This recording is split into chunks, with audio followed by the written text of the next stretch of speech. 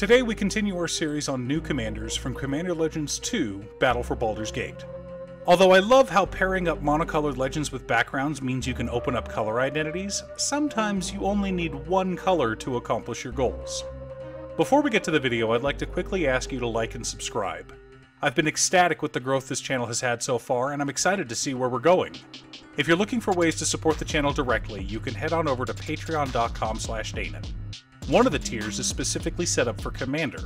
For only $25, I will build you a custom Commander deck based around your specifications, and even do a deck video on it.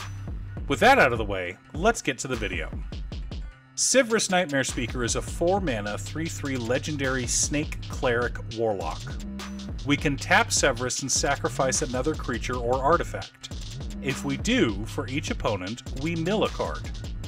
We can then return that card to our hand unless that opponent pays 3 life.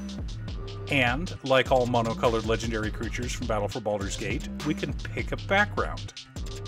Agent of the Iron Throne is a legendary enchantment that makes all of our commanders aristocrats. Specifically, whenever an artifact or creature we control is put into a graveyard from the battlefield, each opponent loses one life. That's right, this is another Aristocrats deck. A mono black one to be precise. The thing I love about Aristocrats decks is how they play like a combo deck but are synergistic in nature. Every card interacts with every other card in interesting and fun ways. Additionally, playing against an Aristocrats deck rarely feels oppressive, unless you're running cards like Grave Pact. The deck is slow and grindy and has a difficult path when playing against faster decks, which is why we want some stacks effects to help keep our opponents honest.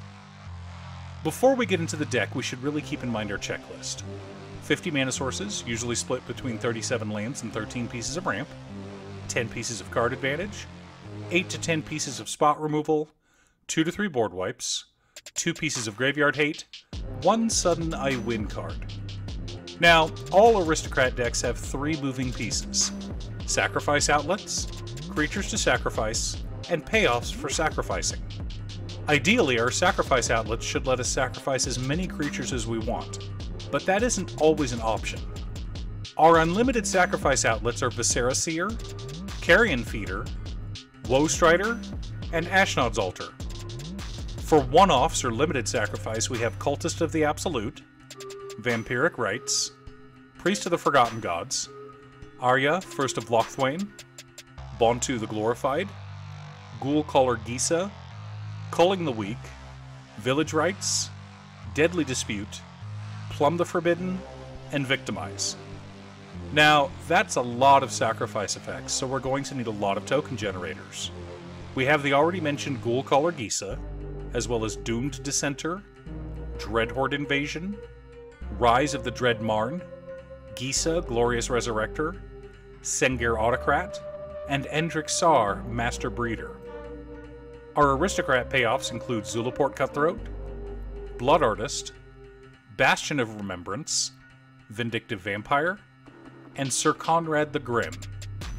Vito Thorn of the Dusk Rose and Sanguine Bond basically double up all of our aristocrat triggers, and Gray Merchant of Asphodel can win us the game out of nowhere. For interaction, we're running Defile, Tragic Slip, Feed the Swarm, Demon's Disciple, Fleshbag Marauder, Plaguecrafter, Baleful Mastery, The Eldest Reborn, Zat's Will is our first piece of Graveyard Hate, Swiftfoot Boots for protection, and God Pharaoh's Statue and Rug of Smothering to slow down our opponents. For board wipes, we're running Massacre Wurm and Vona's Hunger. For card advantage, we have the already mentioned Village Rites, Victimize, Deadly Dispute, Vampiric Rites, and Plumb the Forbidden. But we're also running Body Count, Grim Haruspex, Skull Clamp, Sign in Blood, Read the Bones, Siphon Mind, and Dark Prophecy. Mana Ramp, I've already mentioned Ashnod's Altar and Culling the Weak, but we also have a Dark Ritual as another ritual, Crypt Ghast as a mana doubler, Wayfarer's Bauble, Burnished Heart, and Solemn Simulacrum to fetch lands, Bontu's Monument for cost reduction, Soul Ring, Mind Stone, Arcane Signet, and Charcoal Diamond as mana rocks, and Black Market, which can generate a ton of mana in our deck. Finally, a Bojuka Bog is our second piece of graveyard hate, and 36 swamps. So let's see how our deck compares to our checklist. 50 mana sources split between 37 lands and 13 pieces of ramp, 12 pieces of card advantage, 11 pieces of interaction, 2 board wipes, 2 pieces of graveyard hate, and 1 sudden I win card. So the deck checks all the boxes, but is it fun to play? Is this deck for you? If you're wanting a fast, explosive deck that can win on turn 6, this is not for you. Aristocrats is not a fast archetype. It is slow, grindy, and difficult to pilot. In my opinion, Cycling or Madness decks, Aristocrat decks, and Spellslinger decks are the hardest decks to master in Commander. But they are the most fun to play. Every card you draw, every creature you cast changes the board state in interesting ways, so it can feel chaotic at times. But when everything comes together, Aristocrats decks are a thing of beauty. Now, as far as upgrades go, other than better lands like Urborg Tomb of Yawgmoth, Cabal Coffers, or cost reducers like Jet Medallion, I'd look at adding the Meathook Massacre, some Tutors, Pitiless Plunderer, Sheoldred Whispering One and Agadeem's Awakening for additional graveyard recursion, Toxic Deluge and Black Sun Zenith for improved board wipes, and one of my favorite cards to play after wiping the board, Thrilling Encore. But even without the upgrades, the deck is fun to play. As I'm sure you're aware, the play pattern takes a bit of getting used to. With so many moving parts, it can feel like your deck isn't going anywhere. Just keep practicing with it.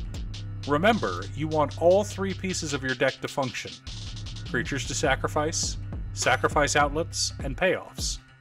Once you've got it down, you'll see just how much fun aristocrats can be. Thanks for tuning in. Once again, a huge shout out to Maynard Cutestuff. I couldn't make these videos without her. If you'd like to hire her to edit your own videos, there's a link to her Fiverr page below. I post new Commander deck videos every Monday, Wednesday, and Friday, or you can click here to watch additional videos. Again, thanks for watching, and I'll see you all again next time on Commander by Daenen.